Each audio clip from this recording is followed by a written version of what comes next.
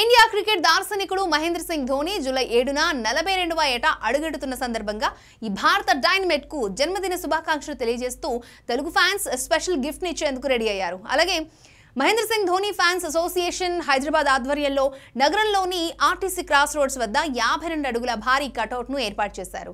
Dhoni birthday సందర్భంగా శుక్రవారం ఈ భారీ కటౌట్ను ఆవిష్కరించున్నారు ఈ సందర్భంగా కేక్ కట్ చేయనున్నారు. ధోని గ్రౌండ్లోకి వస్తున్న ఫోర్స్తో ఈ కటౌట్ని ఏర్పాటు చేశారు. ఈ కటౌట్ పై తెలుగు ఎంఎస్డిఎన్స్ అనే స్టిక్కర్ వేశారు. ప్రస్తుతం ఈ కటౌట్కి సంబంధించిన ఫోటోలు నెట్టింట వైరల్గా మారాయి. ఈ భారీ కటౌట్ నగర ప్రజలను ఆకట్టుకుంటోంది. ఇక ఏపీలోని నందిగామలో డెబ్బై ఏడు అడుగుల భారీ కటౌట్ను ధోని ఫ్యాన్స్ ఏర్పాటు చేస్తున్నారు. ఇదే అతిపెద్ద కటౌట్గా చరిత్రలో నిలవనుంది. ధోని కటౌట్ పెట్టడం ఇది తొలిసారి కాదు.